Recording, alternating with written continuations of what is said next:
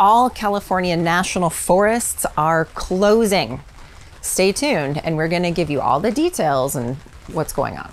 We are Charity, Ben, Dakota, and Trinity. We decided we didn't want to wait for a life of adventure. So in 2017, we bought our first RV and set off to live a life of travel in the USA. We've visited over 38 states in three years and have many more to go. Follow along to learn all the best places to see, RV and travel tips, and much more.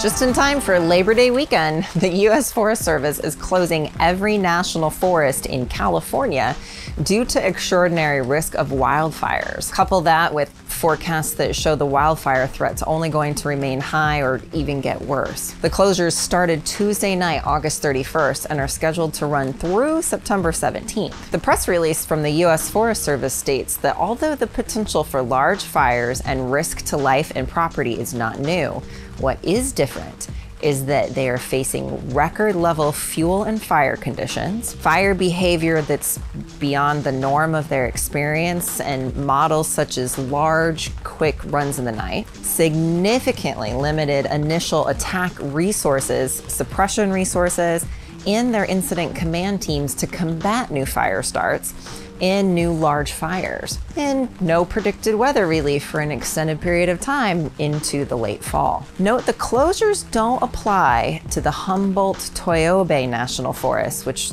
the majority is in the state of Nevada and not the state of California. We'll have a link below for the press release from the Forest Service with further details if you want more information. Now, national parks are not being impacted by these closures at the time of this recording. However, it should be noted that with the increase in visitors in the past year, many of the more popular national parks have gone to a reservation system to be able to get into the park. If you have plans to visit a national park this Labor Day weekend, double check recreation.gov to see if you need a reservation to get in. The current parks requiring reservations as of this time are Yosemite, Glacier, Acadia, Rocky Mountain, and Haleakala, which is in Hawaii. While super popular parks like Yellowstone and Grand Canyon don't have a reservation system yet, that could always change.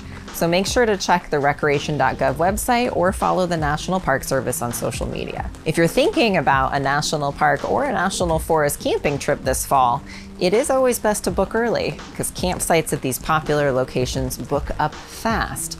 And you can book up to six months in advance at recreation.gov.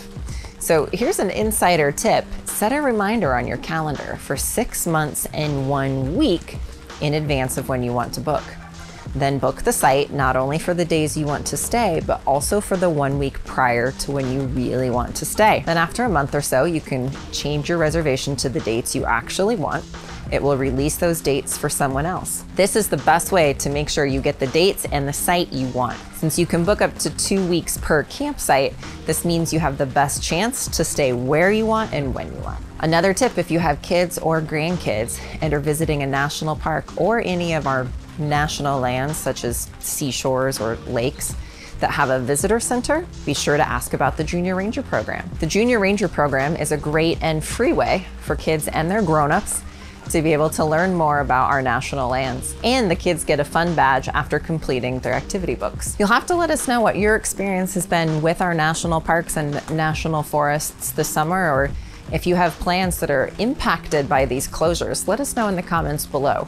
We always love to hear what's going on in your world and as you're out and about camping and enjoying the great outdoors. If you found this video helpful in any way, make sure that you hit that thumbs up button. And if you're not yet subscribed, hit that subscribe button.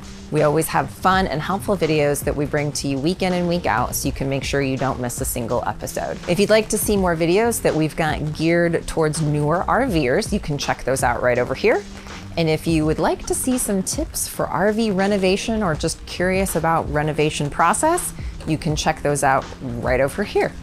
If we don't see you on the road, we'll see you in the next video.